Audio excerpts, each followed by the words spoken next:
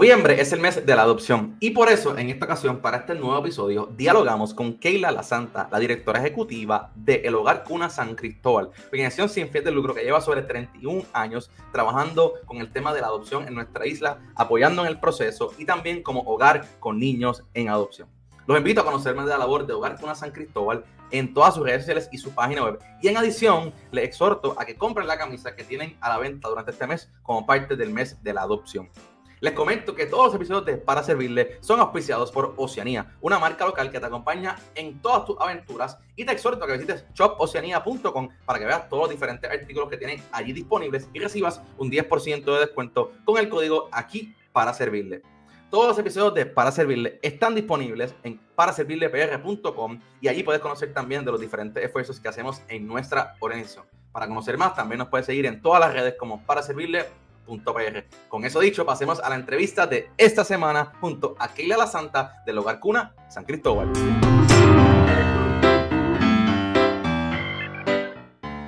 Saludos a todos y bienvenidos al episodio de Para Servirles de esta semana. Hoy me acompaña nuevamente Keila La Santas Díaz, quien es la directora ejecutiva del Hogar Cuna San Cristóbal, que el año pasado estuvimos hablando con ella sobre la labor de este hogar que lleva más de 30 años en Puerto Rico y hoy vamos a estar hablando sobre la adopción, ya que noviembre es el mes de la adopción y ese mes acaba de comenzar. Keila, bienvenida a nuestro podcast. Gracias a, a, ti, Jesús, por, por, por, siempre decir que sí, ¿verdad? Las iniciativas del Hogar Cuna San Cristóbal y apoyarnos. Claro, para eso estamos. Este espacio es para ustedes. Me alegra que hoy vamos a poder entrar un poquito más en detalle y conocernos eh, todo el tema de la adopción, las métricas actuales, los mitos que hay sobre este tema, que sabemos que son muchos, en particular mientras más, más grandes son los niños, ¿no? Quería que nos tenga un resumen más o menos eh, de qué ha pasado este año con el hogar cuna para luego entrar a, a, esos mitos, a la campaña que tienen actualmente y a este mes tan importante. Sí, pues estamos en el mes de la adopción y queremos eh, hacer un llamado a, la, sociedad en general y comunicarles que hay 150 menores, ah. eh, menores, eh, niños y jóvenes, es lo que me refiero, que ya están listos para ser adoptados en Puerto Rico. Así que un número ¿verdad? alarmante y todos estos niños merecen tener una familia con quien contar que dirija sus pasos. Eh, y lo que sí es que la gran mayoría de estos niños tienen 6, 7, 8 años en adelante o son grupos de hermanos y pueden tener algunas necesidades, eh, ¿verdad? Diversas y, de, funcionalidad y demás, pero que ellos necesitan de igual forma, ¿verdad? Una, tener una familia.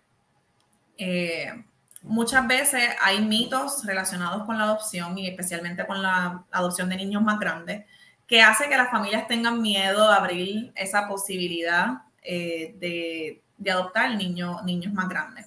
Debido a esto, nosotros como entidad sostenemos que la educación es una clave eh, para que las familias sepan eh, a qué se van a enfrentar con un proceso adoptivo y qué retos pudieran tener, pero de igual forma hay beneficios en adoptar niños grandes. Eh, nosotros como entidad estamos ah, trabajando un proyecto en colaboración con el Departamento de la Familia que se llama el proyecto Enlazados por Amor, que comenzó recientemente en el mes de octubre eh, en la región de eh, Mayagüez, Ponce y Guayama. Es un, es un proyecto que está encargado de adiestrar a familias, darles información y herramientas para que su proceso de adopción, ¿verdad? Pues pueda ser uno exitoso conociendo, ¿verdad?, de antemano cuáles son las necesidades de estos niños y cómo podemos eh, responder a, estas necesidades de forma eficiente para que ese vínculo familiar se forme de forma adecuada eh, y que las familias adoptivas puedan permanecer.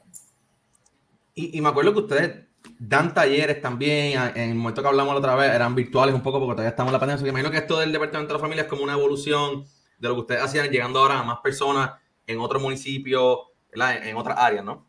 Exactamente, yo veo este proyecto, ¿verdad? Este, este, esta colaboración con el Departamento de la Familia, esta, esta primera piedrita, estos primeros pasos que el hogar está dando para movernos a lo que va a ser ese centro de apoyo y preservación de las familias adoptivas en Puerto Rico, porque una de nuestras metas, ¿verdad? En el nuevo plan estratégico que va a comenzar en el 2024 al 2026 es precisamente establecer, ¿verdad? Un centro especializado en Puerto Rico para las familias que acogen y adoptan menores que han estado en situaciones vulnerables como maltrato, abandono, negligencia. Eh, y queremos que estas familias permanezcan porque aunque no se hable mucho de esto, han habido familias que han devuelto nuevamente a los niños al sistema de protección. Y lo que queremos es evitar eh, que las familias por desconocimiento, por no haber conocido de antemano las necesidades de este menor y eh, responder a estas de, manera ¿verdad? Este, eficiente, terminen eh, sin, ¿verdad? Sin, sin esperanza y terminen devolviendo a los niños al sistema de protección, porque de ahí lo sacamos y queremos que permanezcan ¿verdad? con esas familias, pero dándole entonces a las familias los servicios que necesitan eh, para atender ¿verdad? esas necesidades particulares de sus niños. Sí, que no, no, queremos que vuelvan a, ese ciclo y, y, que tengan una vida feliz con esa familia nueva que tomó la decisión y ese proceso para adoptarles, ¿no? Quería preguntarte, porque mencionaste ahorita la, cifra, ¿no? Que sin duda alarmante, de los 150 niños que están listos para adopción en el Departamento de la Familia. Esto me imagino que es una cifra histórica, imagino que tiene que ver también con lo que se ha, sido, ha, venido aumentando debido a todas las cosas de los últimos años. ¿Eso es así? ¿Cómo, cómo tú lo ves? ¿Por qué hemos llegado a ese punto, aparte de, de, los diferentes temas que han mencionado, de los mitos y eso que ya existen? Pues mira, la realidad es que siempre han habido niños, especialmente niños grandes, que, que están listos para adopción. Y eso se debe a que eh, lamentablemente, ¿verdad? Eh, cuando se da el proceso de maltrato de un niño, el niño no inmediatamente, o sea, cuando es removido de su hogar, ya está listo para ser adoptado. No. Primero va a ir a hogares como pudiera ser el hogar Cuna San Cristóbal o hogares de crianza a nivel isla y va a quedar y se va y va a permanecer en ese espacio donde le van a cuidar y demás y le van a proveer lo que necesita en lo que el departamento logra establecer un plan con esta familia para la reunificación familiar, que es siempre el, el norte, ¿verdad? Inicial es que estos niños vuelvan nuevamente con su familia, proveyéndole a la familia las herramientas para que puedan eh, recuperarlos eh, y poderlos cuidar bien. Pero cuando esto no es posible, este, pues entonces son niños que están disponibles para adopción. Pero en ese trasunto de tiempo en que removía el niño, trabajo con la familia para que lo recupere y demás, pasa tiempo. Así que un niño que fue removido a los tres años pudiera estar listo realmente para la adopción a los seis, siete años. Y sabemos que, eh, aunque está en el sistema de protección y ya está eh, dentro de, de, alguna entidad, no necesariamente está listo legalmente o sus padres han perdido totalmente sus derechos para poder adoptarlo. Así que por eso es que hay muchos niños que son más grandes, porque si descubren el maltrato o lo remueven a los cinco años en lo que se da ese proceso, puede que ese niño eh, cumpla seis, siete, ocho años eh, y eso es lo que hace que la mayoría de los niños realmente que están disponibles para adopción, pues sean niños más grandes. Oh, y yo me acuerdo que hablamos de esto un poco la otra vez, en, ese, porque ese periodo es bastante largo, ¿no? Estamos hablando de, de, de plena infancia de un niño, 3, 4 años que está en este, eh, ¿verdad? En esta incertidumbre, una etapa crucial, ¿no? Eh, eso es algo que se pudiera acortar, eso es algo que así el proceso, es un tema más de pues no quiero entrar aquí al gobierno, pero gubernamental es un tema de, investigaciones que se hacen para verificar qué pasó con el niño, por qué es tan largo ese periodo. Pues mira, eh, era, era largo porque ¿verdad? se le dan las oportunidades a la familia y el Estado tiene que demostrar que le ha provisto a esta familia ¿verdad? De, de esa herramienta. Eh, pero por lo menos tenemos esperanza debido a que ahora en este año, en el 2023, hay una nueva ley. Ya la ley 246 fue erradicada, la, la ley 246 de maltrato eh, ya no es la que rige, la que está rigiendo ahora es la ley 57, que fue aprobada ahora en el 2023, y esta provee un espacio de un año como máximo para que una familia eh, oh, pueda hacer lo que corresponde para recuperar a su hijo. Si en este año esa familia no hace lo que corresponde eh, y el departamento ha podido probar que está haciendo y que le ha provisto a la familia de todas las herramientas para que pueda cumplir con ese plan que se establece, pues la familia perdería entonces sus derechos y el niño entonces eh, estaría listo para adopción. Eso está, eso está bien interesante porque es un paso al frente para agilizar de cierto modo este proceso eh, para que la, vuelva más rápido a su familia o, a ser familia que está buscando adoptarlo y, está en ese proceso también, que me acuerdo que también nos hablaste que era un proceso bastante complicado también, bien riguroso para que, que hay educación, que eso es lo que ustedes no hacen, pero que es bastante también eh, riguroso para validar que la persona va a ir al niño, va a ir a una familia que, que pueda darle esa sana cuido y un buen estilo de vida, calidad, amor, etc. Exactamente. Eh, y pues básicamente, ¿verdad? Eh, este, eso es lo que queremos promover durante este año, ¿verdad? Eh, durante este, este nuevo año y durante este mes específico de la adopción. Es que las familias abran su corazón a adoptar niños más grandes porque ellos lo necesitan. Y, y la realidad es que hay esperanza si buscamos ayuda y si estamos conscientes de que buscar ayuda es una fortaleza que tenemos como familia.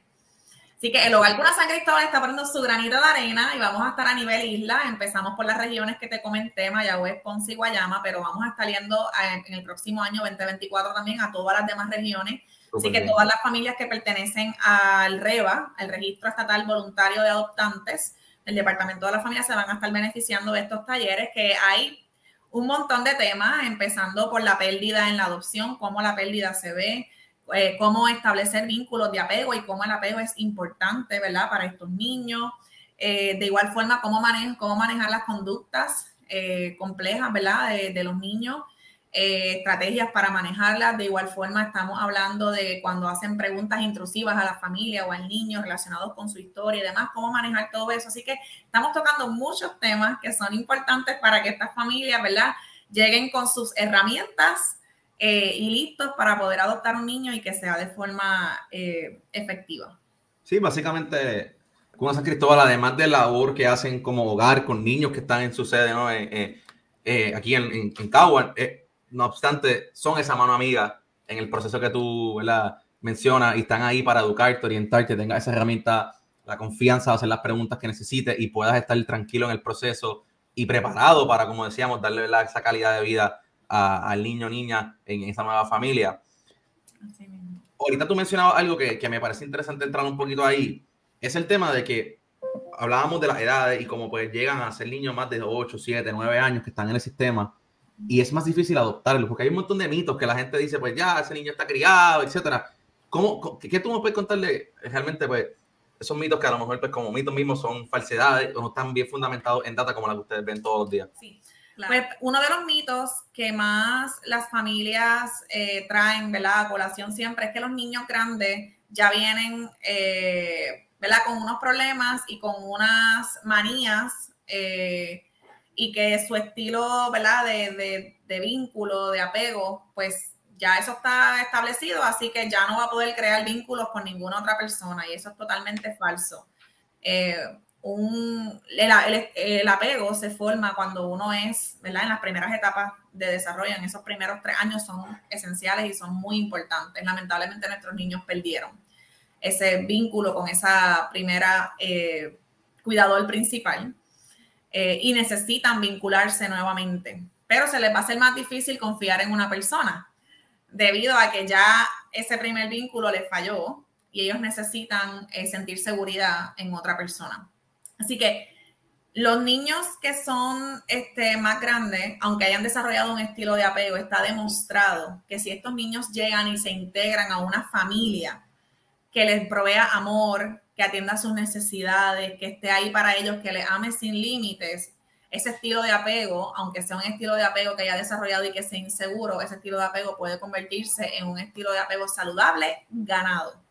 Así que aunque nosotros como adultos hayamos tenido un estilo de apego de igual forma, este, en nuestra infancia, nosotros como adultos eh, en un proceso de sanación, ¿verdad? Eh, podemos eh, mejorar nuestro estilo de apego y podemos vincularnos y tener unas relaciones saludables con otras personas siempre y cuando entremos en un entorno que nos provea, ¿verdad? De, esa seguridad que necesitamos. Así que ese es uno de los mitos, ¿verdad? Mayores con, con estos niños grandes eh, y no quiere decir que no van a haber reto sea un niño pequeño, sea un niño grande, siempre van a haber retos y en cualquier paternidad y maternidad, que lo digan todos los padres que están por ahí biológicos, hay retos.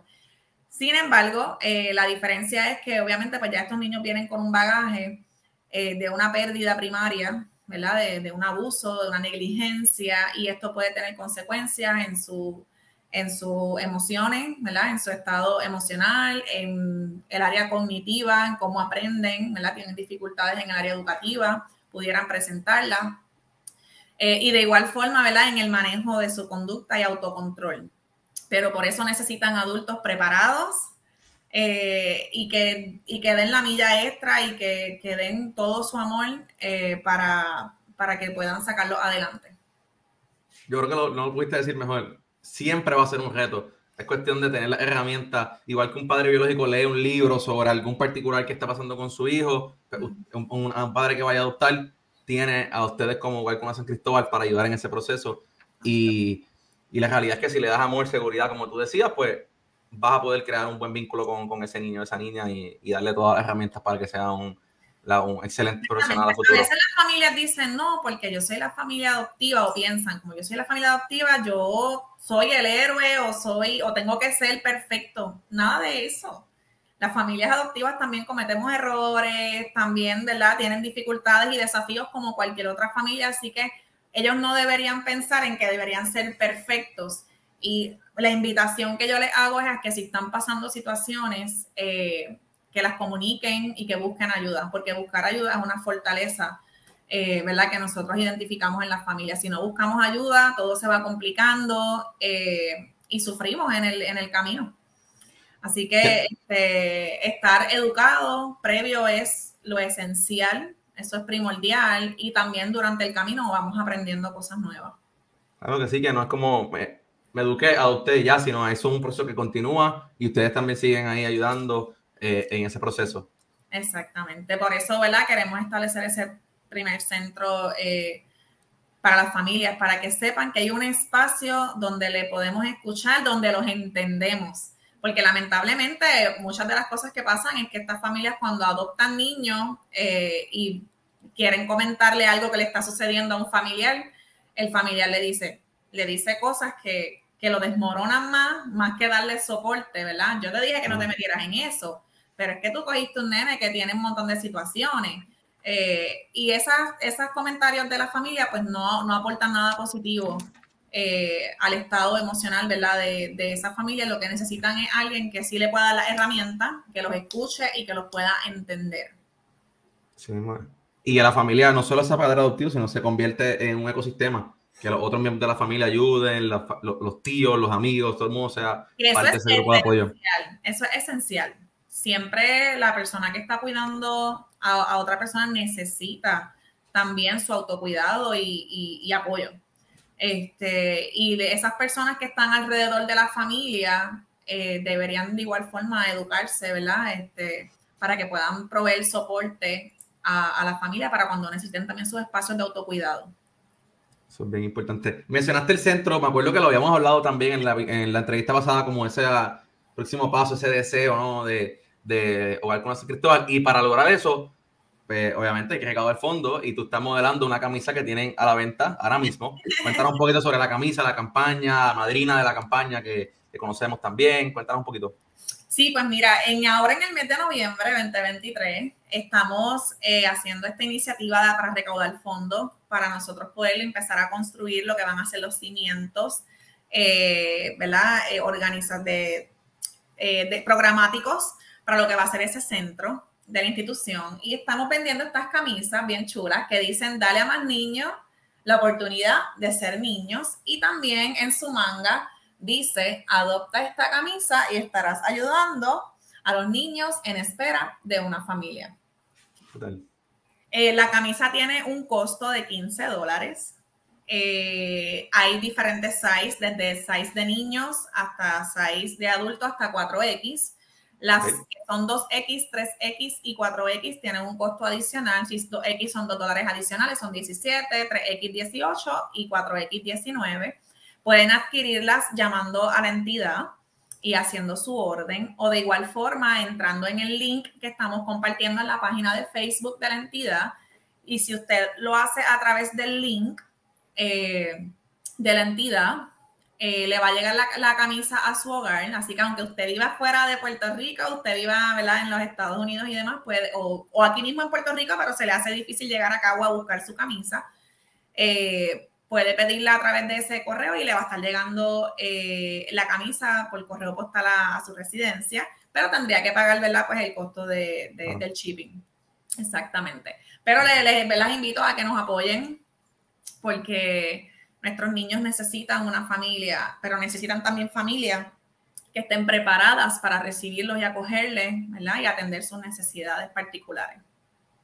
Súper. Y esta camisa va a estar en noviembre, pero me imagino que seguirá a la venta hasta que se acaben. Hasta que se acaben. Lo que queremos es que nos las pongamos el 30 de noviembre todo el mundo, que todo el mundo el 30 de noviembre, el día oficial que escogimos como entidad para que todo el mundo se ponga la camisa. Pero de igual forma, si la quieren utilizar todo el mes y, ¿verdad? Y luego, fantástico. Pero sí, necesitamos salir de, de ¿verdad? Este, que se vendan todas las camisas y que donde quiera que usted se pare, ¿verdad? La persona que esté con usted pueda leer y saber y, eh, tener, tener conciencia de que hay niños que están esperando por una familia. Y en esta temporada, estamos en noviembre, sabes que en noviembre celebramos San Giving, ya vienen por ahí las Navidades y ningún niño debería pasar un día de acción de gracias y unas Navidades eh, sin estar en un seno familiar. Así mismo, en esta época sabemos que es bien fuerte para los niños en hogares, por eso mismo, porque es una época de, de júbilo y alegría para mucha gente, pero para ellos están solos en su, ahí en el hogar y, y, es un momento ¿verdad? De, de, de, visibilizar como estamos haciendo hoy y también de concienciar, ¿no? De, vamos a buscar las formas de, de, que puedan ser adoptados, de que tengan ese apoyo y como tú decías, estén dentro de ese seno familiar que es tan importante. Quería preguntarte porque sé que la madrina de la campaña, Gise Cifredo, que nos ha ayudado un montón para servirle también. ¿Cómo ha sido eso? ¿Qué, ¿Cómo ha sido esa experiencia? Eh, una figura tan positiva está ayudando en este proceso. Sí, Giselle Cifredo y también su esposo Víctor, Santiago, ambos son padrinos, ¿verdad? De, de, esta desde que comenzamos la campaña de nuestros 30 años, ya tenemos 31 años de servicio. Este, y sí, ella ha estado modelando nuestra camisa para promocionarla y ayudándonos a recaudar estos fondos porque ella, ella sabe, ¿verdad? Y ellos saben este, la importancia de que en la crianza, ¿verdad? Todo niño necesita una guía, necesita eh, estar acompañado para tener un desarrollo pleno y que necesitan una familia, así que ellos están apoyándonos también con eso. Eh, ellos conocen ¿verdad? nuestros planes a futuro ¿verdad? Con, este, con este nuevo centro y pues entienden la pertinencia del mismo. Así que eh, sé que van a seguir conectados con, con el hogar apoyándonos en, la, en las campañas. Súper. Tequila, yo creo que el mensaje está más que claro. Primero, eh, mencionar a nuestra audiencia, como escucharon, son 31 años que lleva el hogar con San Cristóbal para conocer un poquito más de la historia, ¿verdad? Está el episodio 167, eh, 127 que hablamos con Keila hace un año, básicamente, hablando sobre esa labor. Y hoy pues recordamos un poquito de todo lo que está pasando en este, en este tema de adopción, en este mes tan importante. Keila, nueva, ¿verdad? gracias por tu tiempo, eh, gracias por la labor. Saben que vamos a estar durante todo el mes ayudándole, ¿verdad? Promocionando para que la gente los apoye de cara a ese jueves 30 de noviembre, para que se pongan su camisa y poder lograr, ¿verdad? Ese centro que, como tú dices, es importante y es súper importante y es necesario para todos esos padres adoptivos. Así mismo, muchas gracias Jesús por, por aceptar eh, hablar nuevamente del tema e invitarnos otra vez a, para servirte. Eh, así que nada, muchas gracias y espero ¿verdad? que tengas también tu camisa. Sí, no, yo voy a entrar, la compro ahora, la tengo ready y me la, me la pongo el 30 y así pues también se la paso a los compañeros de la oficina y eso para que más gente apoye, que eso es bien importante. Claro que sí, muchas gracias pueden buscar, eh, a toda nuestra audiencia, pueden buscar Hogar con San Cristóbal, está en Facebook, está en Instagram, su página web, hogarconsancristobal.org y pueden conocer más de la labor que llevan haciendo por más de 31 años en Puerto Rico. Y como siempre, pueden conocer más de nuestro podcast y todos los episodios en paraservirlepr.com y en todas las redes como paraservirle.pr y estarán compartiendo más información sobre la venta de la camisa y la labor que hace Cuna San Cristóbal durante este mes de adopción. Con eso dicho, que tengan excelente semana y aquí para servirle.